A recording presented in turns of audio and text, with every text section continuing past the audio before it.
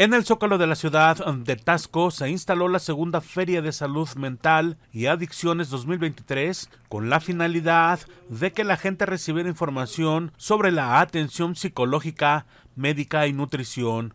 Fueron varios estantes que se colocaron dentro del zócalo con departamentos de las dependencias municipales que tienen como objetivo brindar atención a las personas. La titular de los servicios municipales de salud, Dulce María Padilla, destacó que es un evento importante que tiene que ver también en la conmemoración contra el suicidio y principalmente como ahorita lo decía, ¿no? sobre un tema que causa mucho tabú, un tema en el que eh, señalamos en lugar de poder apoyar, en poder ayudar a la persona que llega a tener un intento de suicidio. Entonces, por la preocupación de las altas incidencias, sobre todo en la juventud, se ha dado eh, el gobierno municipal y el gobierno estatal eh, trabajando de la mano la tarea de llevar ferias de la salud a la población en general para que ellos se acerquen a todas las instituciones, a todos los lugares que están para poder ayudarles y para poder eh, evitar un suicidio.